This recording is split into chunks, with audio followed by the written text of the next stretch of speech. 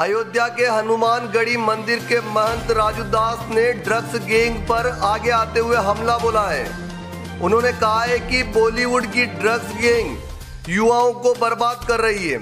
इसके साथ ही उन्होंने ये भी कहा कि एक से बढ़कर एक लोग ड्रग्स माफियाओं के चंगुल में फंसे हुए हैं। नव भारत समाचार, अयोध्या, उत्तर प्रदेश से जितेंद्र शुक्ला। महाराष्ट्र में देखिए एक से बढ़ के एक लोग जो ड्रग्स माफियाओं के चंगुल में फंसे हुए थे, रोज कोई न कोई सामने आ रहा है।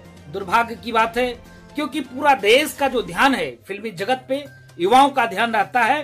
और आप देख सकते हैं कि जो होनहार कलाकार हमारे देश के हैं, वो किसी न किसी प्रकार से पूरे बॉलीवुड में ड्रग्स माफियाओं के चंगुल में फंस चुके हैं, जिसका प्रमाण आप देख सकते हैं कि रोज एक न एक व्यक्ति पकड़े जा रहे हैं। किसी न किसी व्यक्ति का मामला आ रहा है। मैं साधुवाद दूँगा उत्तर प्रदेश के सचिव मुख्यमंत्री योगी आदित्यनाथ जी महाराज को, जिन्होंने उत्तर प्रदेश में फ़िल्म सिटी बनाने का योजना बनाया, क्योंकि यह धरती भगवान से राम की है, भगवान श्री कृष्ण की है, यह धार्मिक धरती है, जिस धरती पर आने के बाद सभी का बुद्धि शुद्ध होगा। और जो गुलशन कुमार जी का सपना था, भक्ति का माहौल, वो सपना साकार होगा, ऐसा फ़िल्म सिटी बनाने पर।